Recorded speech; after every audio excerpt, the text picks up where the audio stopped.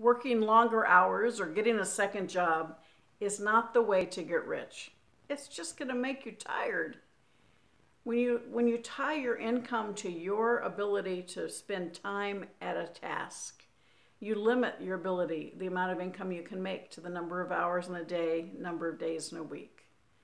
When you want true wealth, you need to think about assets, assets that become your employees. Put them in your asset column and let them work for you. And the harder they work, soon you're going to see more time that you can spend on other things.